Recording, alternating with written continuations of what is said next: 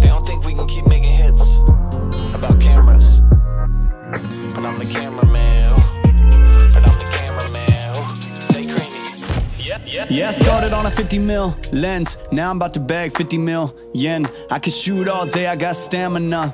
Turtleneck on with my camera, yeah. Stay creamy, man, that's what they say. Shoes laced up, and I came to play. Yeah, I'm first team, I'm a superstar. They call me Cream, like Abdul Jabbar. Yeah, you had to face it. Let's get back to basics. I'ma take the shot like it's a vaccination. I don't have the patience, I'ma shoot right now. Yeah, we undefeated, and you gon' lose right now. Like click, click, click, click, swish. I can switch it up anytime like this. I'm a videographer, and I'm on the verse.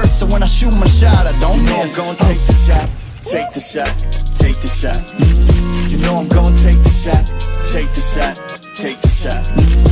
Pull up and take the shot, take the shot, take the shot. You know I'm gonna take the shot, take the shot, take the shot.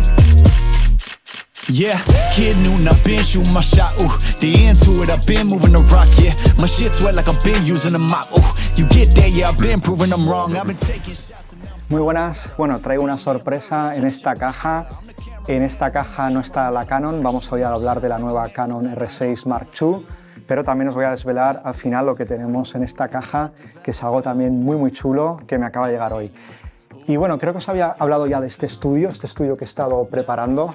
Como veis, eh, está muy guapo, tiene preparada una zona aquí para entrevistas. Y bueno, este estudio está en Alcalá de Henares, en la provincia de Madrid. Quiero empezar a hacer aquí entrevistas a gente del mundillo audiovisual. Así que bueno, si estás cerca de Alcalá de Henares, si quieres eh, dejarme en los comentarios, si quieres participar en esas entrevistas que quiero hacer a gente del mundo audiovisual, pues estaría encantado de contar con vosotros. Y bueno, en cualquier caso, si no estáis aquí cerca, pues ya iréis viendo los próximos meses lo que aquí va a ir sucediendo, ¿vale?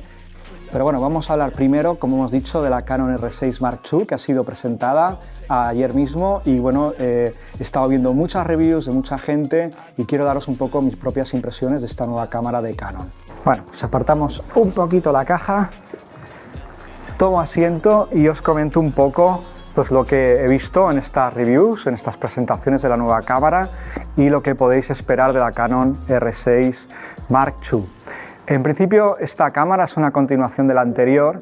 Eh, básicamente, la anterior ya tenía un par de años y han decidido un poco actualizarla. Ya no tiene límite de 30 minutos de grabación y le han puesto un nuevo sensor, en este caso es de 24 megapíxeles, el anterior era de 20, y le han mejorado eh, pues lo, que es el autofocus y ahora utiliza inteligencia artificial, es capaz de detectar caballos y cosas de estas. O sea, básicamente eh, tiene algunas mejoras re- respecto a la anterior, yo diría que especialmente en el apartado de fotografía, dado que incrementa megapíxeles. ¿no? Pues poco más, ¿no? Es decir, básicamente eh, sigue siendo pues una Canon, eh, te da unas imágenes estupendísimas, pero también pues se puede presentar algunos problemillas, sobre todo si lo utilizamos para la parte de vídeo, porque generalmente con los códecs de Canon pues, los ordenadores suelen sufrir bastante más eh, a la hora de pues editar eh, pues los clips, ¿vale? Pues eh, cuesta un poco más y a algunos ordenadores les resulta pesado pues los códecs de Canon. Siempre puedes utilizar proxies, pero bueno, complica un poquito más lo que es el workflow o el flujo de trabajo. Y bueno, eh, ¿con quién compite esta cámara y qué diferencias o ventajas tiene respecto a las mismas eh, o equivalentes de otras marcas en esta franja de precios? ¿no? Básicamente esta cámara compite directamente con la Sony A7 IV y también compite con la Lumix S5. En principio gana las dos, ¿vale? Gana las dos porque eh, si bien se echaba en cara a Canon de que se guardaba o capaba un poco las cámaras para preservar su línea de cine, esto ya no está siendo así, es decir, esta cámara te da salida ProRes RAW, La Canon R6 Mark II a través de la salida HDMI y esto no te lo da la Sony A7 IV. Eh, sí la tiene la Lumix S5, eh, sin embargo también te está dando eh, 60 FPS sin recorte, 4K 60 FPS, que en el caso tanto de la Sony A7 IV como la Lumix S5 ambas tienen el recorte. Y por lo tanto, pues básicamente esta va a ser ahora mismo la mejor cámara híbrida del mercado. ¿vale? Entonces, eh, bueno, ¿en qué precio se coloca? Pues se coloca en torno a las 2.980 euros, es decir, se sitúa un poquito por debajo de los 3.000 euros. Ah, tiene el, bueno, el perfil logarítmico, el C-Log 3, ¿vale? El C-Log 3 que es muy, muy, muy bueno para sacar el máximo rango dinámico y además tienes garantizados los colores de Canon. Así que bueno, canonistas, tenéis garantizada la continuidad de vuestro sistema, de vuestras cámaras Canon y bueno, los que seáis del mundo de Canon, pues estáis de enhorabuena, hay una nueva cámara al mercado y que se suma pues a todo lo que había anteriormente, así que bueno, ahí hay recorrido para seguir con Canon quien esté en ese mundillo.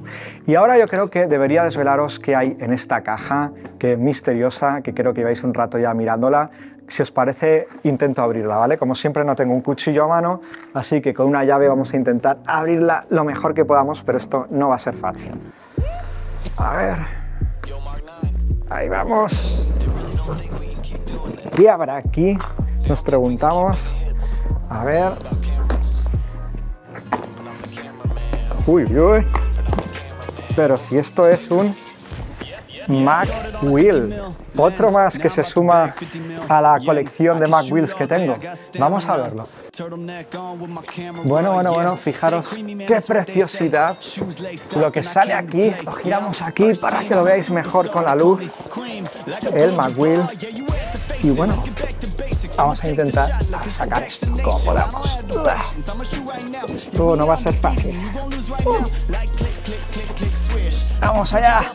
Está casi hecho.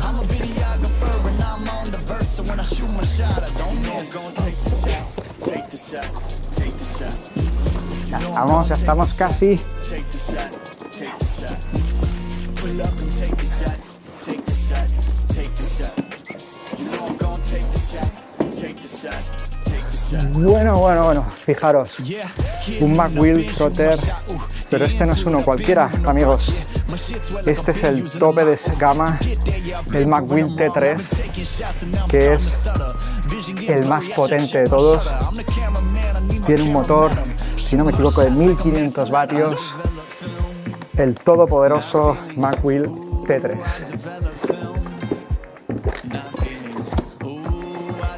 Fijaros bien lo que viene aquí.